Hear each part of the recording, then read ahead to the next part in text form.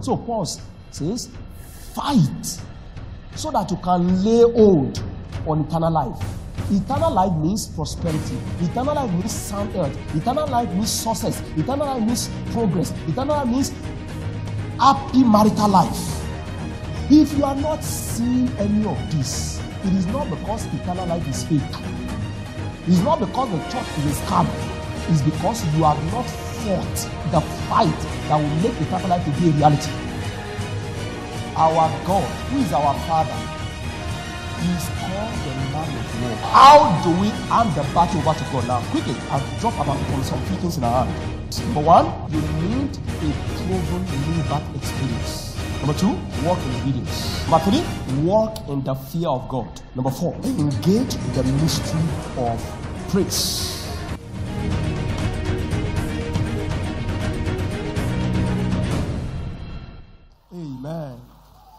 Choir, the Lord bless you. Leave those ones and let's bless the name of the Lord this morning. Come on, give God the glory. Give God the praise. Give God the praise. He has kept us from January. Here we are at the end of November. Kept by God. Kept by His grace. Lero bredia zimopedi kapobila dia jarosh kegade zeza maliosh. Amblo brekete pelia de zuzima lopopidi jadia. We say thank you, Father. Oh, thank you, Lord. Thank you, Lord. And thank you, Lord. Will you thank Him for all of His blessings? All He has done, all He has been. Give Him the praise and give Him the glory. We thank you, Lord. We thank you, Lord. We thank you, Lord. We thank you, Lord. We have just come to say thank you, our Father.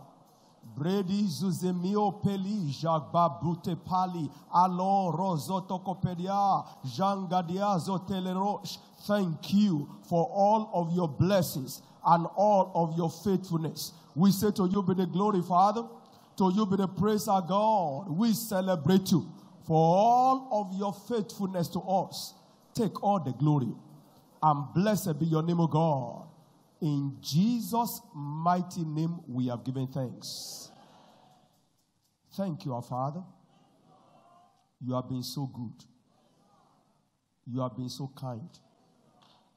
Your grace and your mercy has been our portion, not judgment for whatever error or mistake. Thank you for safekeep, for protection. We give you the glory. Àwa dúpẹ́ bàbá. Àwa dúpẹ́ ọmọ. Èdùmàrè àṣẹ tìrẹ ni ògo. Quickly, the subject, the topic of our subject of our discussion today is the Lord shall fight for me. Say with me, the Lord shall fight for me. Say it again. And get ready. We'll be having a time of praise. You will dance like you have not danced before. And before the service is over, you are taking testimony of your victory. Please, as a way of introduction, understand. You know it before, but let me remind you. We live in a world of battles. What did I say? You don't, you, it's not that you should like to fight. You must be ready to fight. Or else you become a victim. Live to that of now. From today, you will never be a victim again. You will never be defeated again. It's a world of battles where everyone has the responsibility to fight, or else you won't have access to what is your right. You fight to gain access to your right, or else you don't have it. Look at it in Deuteronomy 2:24. He said, "Rise up, take your journey, and cross over." He said, "Rise up, take your journey, and pass over the river Arnon. Behold, I have given into your hand." That's God speaking. I have given into your hand. God says, I have given you. Sihon, the Amorite king of Heshbon and his land. I have given you. But it won't get to your hand that way. I have given it between my hand and your hand, you have a duty. For it to drop in your hand, begin to possess it as you fight, as you contend, as you battle. That God has given it, if you don't fight for it, it will still drop. Lift out of now. Everything that God has given to you, in the name of Jesus the Christ, it will drop in your hand today. So it's a word of battle. First, first, first Timothy chapter 6, First Timothy chapter 6, verse 12. Look at it. Very powerful. Paul speaking. Amen. It's a fight. That's Paul. The great, the, the great man, the great, the, the greatest in the instrument after Christ. It's a fight, the good fight of faith. When you do that, then you'll be able to lay hold on eternal life. Christ gave us eternal life at redemption. But that eternal life that we receive that new birth will never become a reality, will never, will never be made manifest until the believer accepts the responsibility to fight. So Paul says, fight so that you can lay hold on eternal life. Eternal life means prosperity. Eternal life means sound health. Eternal life means success. Eternal life means progress. Eternal life means happy marital life. If you are not seeing any of this, it is not because eternal life is fake. It's not because the church is a scam. It's because you have not fought the fight that will make eternal life to be a reality. Fight the good fight of faith. Then you'll be able to take hold, you'll be able to lay hold, you'll be able to place your hand on eternal life. Or else it will remain a mirage. Or else it will become like fake, like it's not real. Hear me, we are not deceiving people in church. But each one that we experience the beauty of this life that Christ offers must take responsibility to fight it. If you don't like to fight, friends, this life of God is not for you. Amen. Is somebody with me this morning? But the good news is this. Well, let me first give us the one that might not be too good. There are battles, and a lot of battles in life, they are beyond our strength as human. They are beyond our strength as men. But the good news now is that we have a God, our God, who is our Father. He is called the man of war. Exodus 15:3. His name is the man of war. People think God is gentle. Oh, you better know this God. His name is the man of war. Is that the Lord is a man of gentleness. A man of gentility. He's a man of war. The Lord is his name. So when you say the Lord, you are just saying man of war. Every time you say the Lord, you are saying the man of war. You are triggering our God to his warfare dimension. And when you're talking about warfare, you're not talking about warfare, you're not talking about gentility. You're not talking about someone looking morose. You're talking about aggression. You are talking about a man that is weird, a man that is fierce, a man that is at his work, atlas. Israel declared war against, against Hamas who stayed at Gaza. And after that war was declared, children have died. Children have died. Women have died. Is it that they want to kill women and children? No, but they declared war. Is this is war. This is not play for time. War. And they said, This is what we are coming for. Please, excuse us. Leave the place. When we come in, we are not, we are merciless. We are heartless.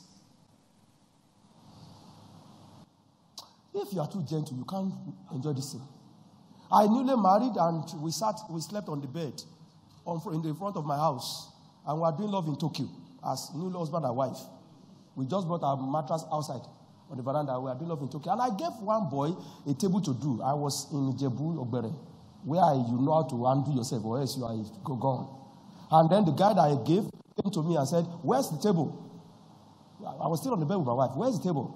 And he was, began to say something I don't understand. I've learned that when they speak to you that way in that place, you don't, you don't, you don't take it for light. So I stood up. I said, Wait for me there. And I was going with my blow. I said, Wait for me there. If you don't die now, I'm not sent by God. I was going with that anger and with that anointing, with my fist. And my wife pulled me back. Oh, now you're a man of God. Don't kill anybody. I turned back and I said, Will you leave me now or you are the first to die? Now, I was not talking to my wife that point. I didn't even see her. I knew the fight I had to fight to survive. There was a, a time before I married her that all the pastors of Pentecostal churches were all man of one just stood and was just pushing out blood. Nothing, no sickness, was just pushing out blood. Until he ran out of time and then the blood ceased. He came back again, blood was flowing. He ran out again, flow, he ceased. The other one was just going and then one car just jammed him. He went to hospital, treated him, he came back, another car just jammed him. He ran from town. Another one, one sickness just came upon him, was just reducing. No explanation, was just reducing. Nothing touched me. I never had a headache one day. I was bulldozing every devil out. So I looked at, hey, hey, hey, hey. If you don't stop there now, I'll kill you first. I was not talking to her. I was talking to devil. I went after the devil. I didn't get him again. He has run away. She distracted me. He ran away. So I came back and I, I came back with the mind that, okay, let's continue our love in Tokyo. And I didn't see my wife on the bed again. So I was looking for her. I was looking for her and I saw her in the corner, one corner of the room, and she was sobbing. Hmm, hmm, hmm, we are just about two months in wedding, in marriage. I said, honey, what's it? What's wrong? Why are you crying? I left you. We are having a nice time. What's wrong? Why are you crying? He said, I said, what's it? You, you said to me, I said, what did I say? You said you kill me. I will die. I said, me? I said, no, I didn't. I didn't. He said, no, you said it. I said, oh, oh, oh, oh. When, I said, ah, ah, when you see me in that realm, in that, in that dimension, just stay off. Stay off. Don't, don't stand the way because I need to. I said, this is how I've been surviving before you came. The Lord is a man of war. The Lord is his name. Hear me now. In the name of Jesus the Christ, every battle that has been raging against your life, every battle that has been drowning you, every battle that has been putting your life under, Decree they go under for you today. In the name of Jesus. That is the God we serve. And the good thing is that he never returns from any battle defeated. He's a man of war, no battle.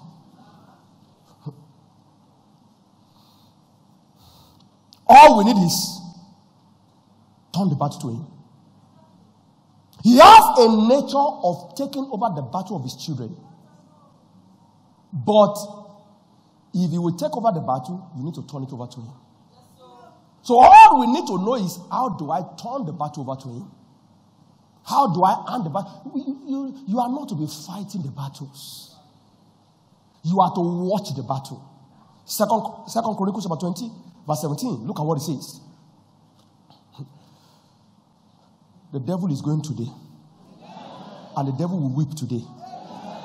For any trouble he has given you, more than double will be given back to him. Second Chronicles chapter 20, verse 17.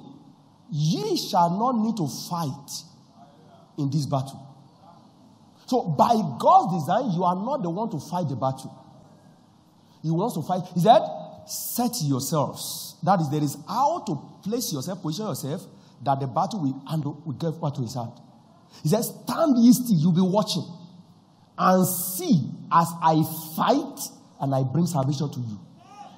That's the design. Isaiah 49. Somebody here with me this morning? Hear me, I decree in the name of Jesus Christ, you will never lose again in life. Isaiah 49, verse 24. Shall the prey be taken from the mighty, or the lawful captive delivered?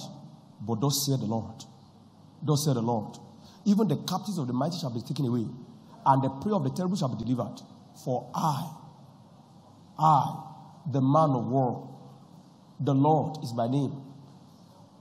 will contend with him that contended with thee. I will take over the battle. And I guarantee your salvation.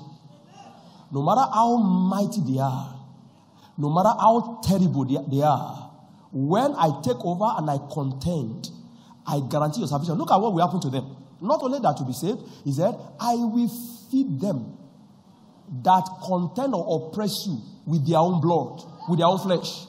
I will cause them to be drunken with their own blood as with sweet wine. So what is now the problem? Why are you now why are you not getting defeated? So when I'm the one contending on your behalf, you will be saved. And you will watch as they will be eating their own flesh. Hear me now. I don't care where the battle has come from. I don't care for how long it has been raging. But every hand that has been stretched against anyone here, they will hit their own flesh today. They will drink their own blood today. If that is why we hear your loudest amen. How do we hand the battle over to God now? Quickly, I'll drop about from some few things in our hand and then we rise. Number one, you need a proven new birth experience. A proven, genuine, true new birth experience. Amen. When an individual comes into a covenant with God, God becomes committed to everything that concerns him. Including his battles, God takes them over. A new birth, genuine new birth, sincere new birth, is the fundamental steps to enter, to step into a covenant with God.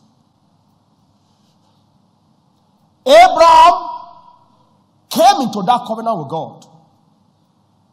In Genesis 20, verse 1 verse 7, the king of Philistines took his wife. God came in the night and said, I will kill you now if you don't restore him his wife. Move on. Verse 5, please. Verse 5. Let's go back to verse 3 to see that. Verse 3. But God came to Abimelech in a dream by night and said to him, Behold, thou art but a dead man.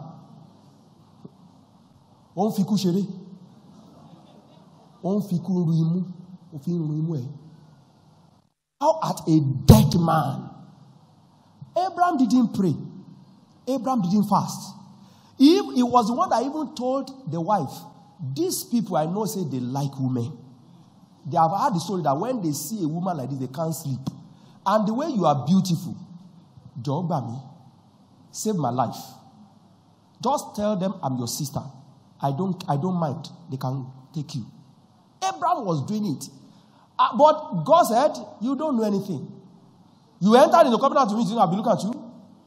And God was watching. And the man took, he, uh, Sarah told them, I'm, I'm his sister. So the man took the wife. God came in there and said that, You are a dead man. Ó ní kí ló dé ló dé kí said, You took the wife of that man. I will kill you now. He said, No, God, I didn't do that. He told me it's his sister. He told me I didn't know. He said it's his sister. God said, Yes, I knew that. He told me sister. That's why you took it out of your innocence. But even for that, I have shot the womb of, your, of a woman. They will never have children. But I was waiting on you whether you know that something is wrong. And you know now. I want to kill you. Before I kill you, I'll tell you. He said, I'm sorry. He said, Okay, return the wife. Now, when you come into true position with God by new birth, not coming to church and doing religion, not doing switch because I'm just saying uh, doing one step and do one step. I mean, you come into God and you are fully in Him. You won't need to say it. Let any fly just move around you. You see fire. Gbogbo ara ogun ni. Iná ni. Touch it. Touch it and see. That is what you become when you are positioned in God. Friends, I know this thing. This thing is real. This thing is real. This thing works.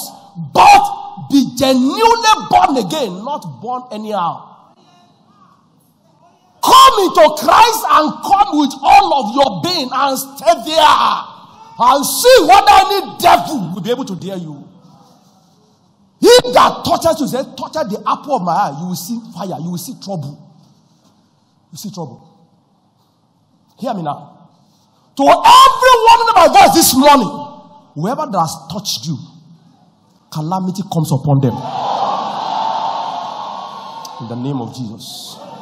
And Galatians 3:29 says, anyone that is in Christ is Abraham, is like Abraham. So when we come into Christ genuinely, we have come into that place where God fights our battle. And if ye be Christ's, then are ye Abraham's seed. And heirs in the same way, according to the promise, to enjoy the way he enjoyed it. So I want to please admonish anyone under my voice here now. You are fighting battles, probably you have not fully come into him. Come into him and see what becomes of you. Number two, walk in obedience. Walk in obedience. Every act of obedience to God obedience to God by reason of faith, born out of faith, moves God into the believer's situation to take over his affairs. Faith moves God to take over the affairs of the believer. And by that, the battle of the believer becomes the battle of God. And God begins to fight his battle to fight the enemy finish. Deuteronomy chapter 20, verse 1. If you hearken diligently unto the voice of the Lord God, and you observe to do all that I command you this day, he said, then the Lord your God will set you on high. He will take over. And you'll be above all nations of the earth. And verse 7 says, when they come against you, verse 7, when they come against you in one way, when the enemies rise up against you in one way, I am there to scatter them. When you have obeyed, obedience of faith. You want God to take over your battle, you want to hand over your battle, the battle of your life to God, then begin to walk in obedience. Obedience of faith to every instruction. Number three, walk in the fear of God. Walk in the fear of God. The fear of God simply means hatred for evil and sin that makes a man to run from it. And when a man has the fear of God in his life, he becomes endeared to God. He becomes a dear personality to God. And by that, God takes him as a treasure and as a precious person. Then he begins to fight his battle. Proverbs 8:13, the fear of God is to hate evil. And that makes him to be endeared to God. And then Isaiah 44, verse 3. Isaiah 44, verse 3 and verse 4. You will see when you become endeared to God, and then let's take verse 4 to save our time. Amen. Verse 4, Isaiah 43, please. 43, 43 verse 4. Isaiah 43 verse 4. He says, Since thou was precious in my sight, thou hast been honorable, and I have loved thee. Therefore, I will give men for thee, and people for their life. So anyone that wants you down, I will exchange your life for them. I will exchange their life for your own because you are precious. And that preciousness comes out of the fear of God. Let me take the last one, and then we'll rise. Number four engage the mystery of praise and thanksgiving. Engage the mystery of thanksgiving and praise. Thanksgiving and praise is a mystery of the kingdom. And among the things that this mystery does is it hands over the battle of a believer to God. Second Chronicles 2017 that we read before. Second Chronicles 2017. He says, You won't need to fight in this battle. You will not need to fight in this battle. Say, Set yourself. You shall not need to fight in this battle. Set yourself. Set yourself. And when you are properly set and appropriately set, he said, You will stand still as you see the salvation of the Lord in your life. And how did they do that? Verse 22 now. Verse 22. Quickly, verse 22. He said, And when they began to sing and to praise, the Lord set ambushments against the children of Ammon, Moab, and Mount which were come against Judah. And the Lord destroyed them. And they were smitten. 23. He says, in 23, as the Bible is speaking for that, and for the children of Ammon and Moab stood against themselves, against the inhabitants of Messiah, utterly to slay and destroy them. And when they had made an end of the inhabitants of Seir, everyone helped to destroy another. That none escaped. Verse, 20, verse 24. And when Judah came toward the what? Toward the watchtower in the wilderness, they looked unto the multitude, and behold, they were dead bodies falling to the earth. None escaped. The Israelites, the Jew, the, the Jew, the children of Judah never lifted a, their hand, never shot an arrow, never did anything. The only thing they did was that they sang praises. And as they sang praises, God stepped up, stepped out, took over the battle, and none escaped. None escaped. None escaped. Look, there is a realm wherein you don't fight battles again. You only watch as God fights for you. That realm is the realm of more than conquerors, where you are not permitted to lose in any battle. Where anyone that rises up against you is guaranteed to be destroyed while you watch.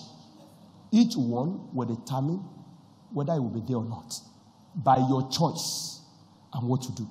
Rise up on your feet.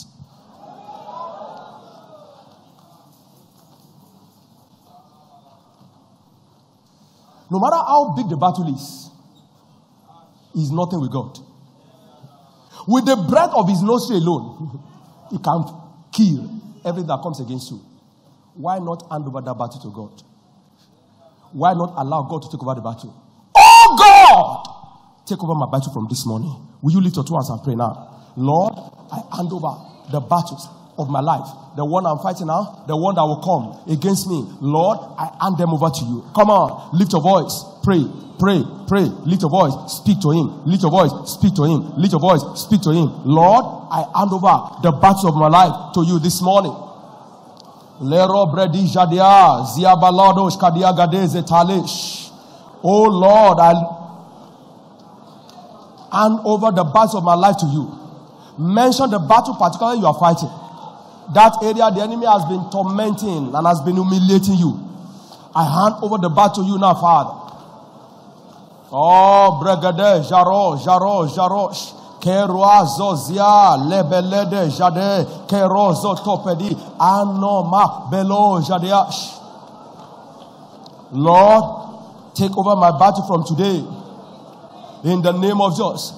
Please ask of the Lord now. Pray, Father, grace to apply myself to the demands that will make you to take over my battle. I receive the grace now. And deal me with the grace to apply myself to the demands that will make you to take over my battle. Lord, let the grace come upon me now. And deal me with the grace. And deal me with the grace. And deal me with the grace. Right now, Father. And deal me with the grace. Right now, Father. And deal me with the grace. Oh God, that will cause you to take over my battle. That will make me to experience, oh God, supernatural victory as you fight my battle from now. In the name of Jesus. Oh God! None of my enemies shall escape from today. None of my enemies shall escape from today. None of my enemies shall escape from today. Oh God, you will fight the battle of my life. You will take over the battle of my life. None of my enemies shall escape.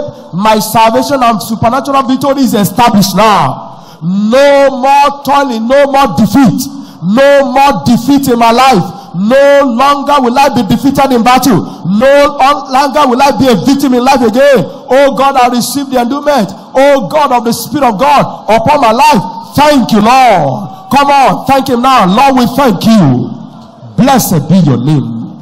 In Jesus' mighty name, we are prayed. Lift your two hands. Grace to apply ourselves to the demands that will make God to take over our battles. That grace is lavished on each of us now. Receive it in the name of Jesus. You are fighting honestly, that's why it appears your marriage is not settled. Every time a man comes, after a little while, you make many investment to it, and then the man disappears. Why?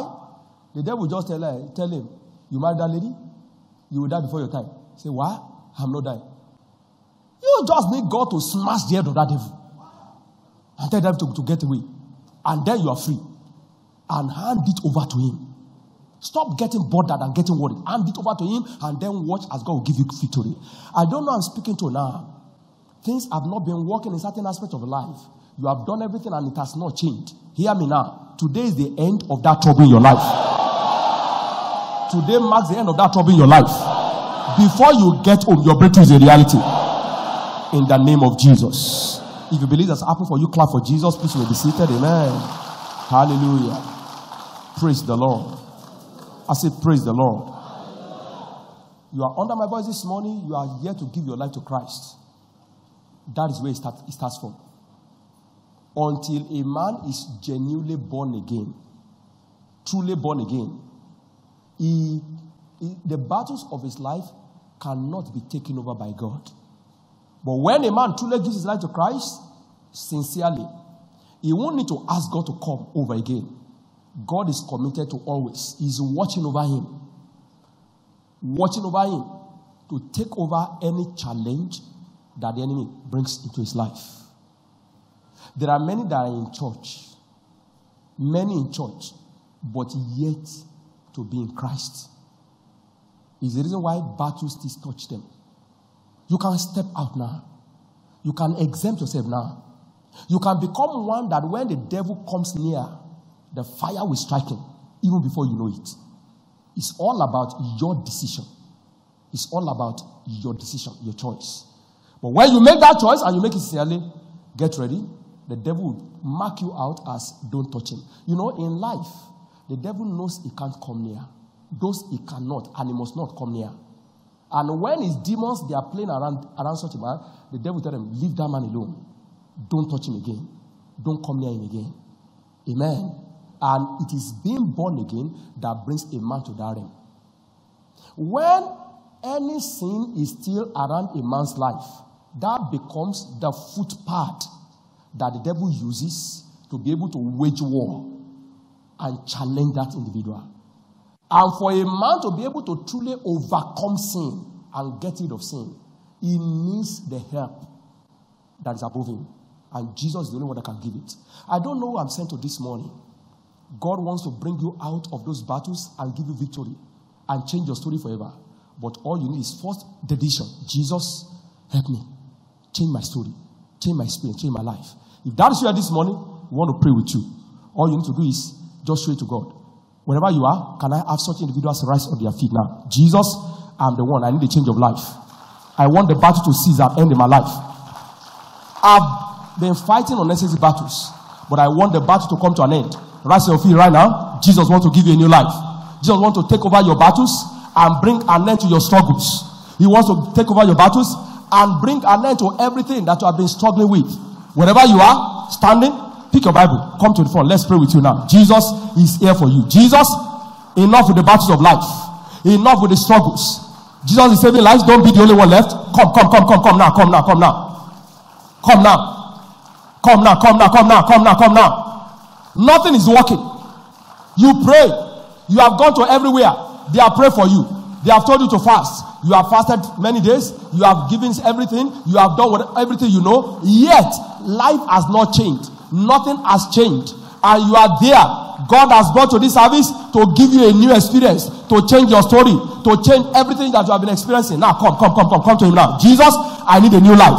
I want a new life. I want a new experience. Somebody is still seated. The Holy Ghost is telling you and touching you out and saying, Come, let me change your story. Let me change your story. They are still coming. Clap, clap better for God. Clap better for Jesus. Wherever you are, come, come, come. Don't stay back. Don't stay back. Probably you have been in church you have been coming to this church, but you know that you are here to truly be born again. Jesus wants to give you a new life now. Amen. The second call, you have given your life to Christ before, but you still find yourself doing things that God hates, that God does not like. You have struggled, you have prayed, you have fasted, but you have not been able to overcome that thing. Now God wants to give you victory. Wherever you are, please rise and join them now. Come now, come now. God wants to deliver you from that power of sin that has kept you defeated and has kept you a victim. Wherever you are, come, come, come. Pick your Bible, run to the front, run to the front, run to the front. Church, clap louder and clap better. Clap louder and clap better. Clap louder and clap better. Probably you are invited today And you came, but you have had it now, and you know that this is what I need. Come now, I want to pray for you. Praise the Lord. Now, the third call. The third call. If this is your first time of coming to this church, now you are welcome in the course of the service. And then we prayed for you and we told you to sit down. But now we want to release the blessing of God on your life. And hear this when we pray for such people here in this church, within 90 days, everything about their life will take a new turn. Now, we want to pray for you together. If that is you, the first time that you are in this church, please can you rise your feet, pick your Bible, and come to the front now. Come to the front. Everyone that you are, this is your first time, you stood up in the, in the in, when you are welcome before, and then you are still there. Please come now and join them. You, you stand at the, at behind them. We want to pray for you together. Church, clap louder, clap louder, clap louder, clap louder. Clap louder. Clap louder. Come on, clap louder, clap louder, clap louder. Clap louder. If this is your first time, don't miss this prayer. Don't miss this prayer because God is going to give you a turn around that your life will keep speaking about. Wait for you one minute, one more second, please. Amen. Clap for Jesus Church. They're coming. Amen. Hallelujah. Praise the Lord. I say, Praise the Lord. Now we're going to pray for you and get ready. Your life is going to take a new turn in the name of Jesus. Now, hear this. He says, Shall the prey be taken from the mighty or the lawful captive delivered? He said, Yeah, no matter how terrible the captive, the captor has been, I will deliver the captive. For I will contend with them that contend with you, and I will save my children. So, until you say, Jesus, you are my Lord, Jesus, you are my Savior, then you are not a candidate for God to fight for. So, everyone in front, I want to pray now, and I'll be praying God's intervention in your life. But you're saying, Jesus, fight my battle from now. Jesus, take over my battle. Jesus, I want to fight for me and defeat the enemy on my behalf. Let me see hand up. I pray for you now. Put, put your right hand up now. Put your right hand up now. Jesus, take over my battle and fight it. Now, everyone with their hands lifted, say with me, Lord Jesus. I want to hear you loud. Lord Jesus. Come on. Say it very loud. I want to hear you. Lord Jesus, take over my battle from today. Defeat the enemies of my life. Right now, I hand over my life to you and my battles to you. Come into my life. Be my Lord. Be my Savior. Wash me with your sin. Wash me from my sin. Cleanse me by your blood. Deliver me from the power of sin, from the power of Satan, that I may serve you the rest of my life. Thank you for saving me. For now I know I'm a child of God. I'm born again. All things are passed away. All things are new in my life. Thank you. Amen. Keep that hand up. Father, your grace has found these ones. Let that grace keep them forever. The battles of your life, I decree, God will fight them from today. Your victory shall be established. Thank you for doing it. Jesus' mighty name we pray. Amen and amen. Congratulations. We're expecting your testimony.